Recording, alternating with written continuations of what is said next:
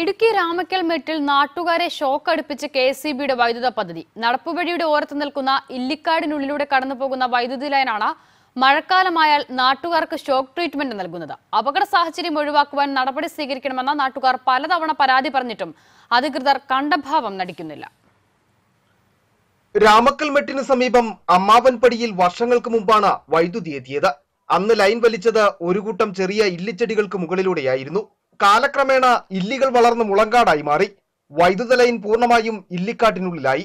മഴക്കാലം എത്തിയാൽ ഇല്ലിത്തുറുവിലാകമാനം വൈദ്യുതി പ്രവഹിക്കും.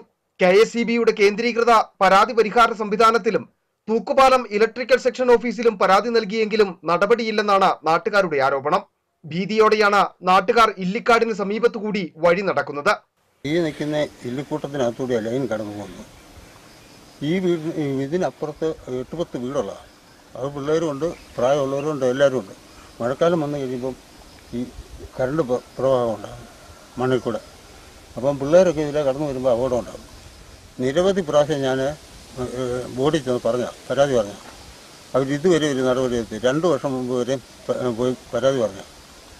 അത് അവർ വരാതെ വന്നപ്പോൾ എട്ട് മാസം മുമ്പ് വിളിച്ചു പറഞ്ഞു. അപ്പോൾ നാളെ ആളിനെ വിടാമെന്ന് പറഞ്ഞു.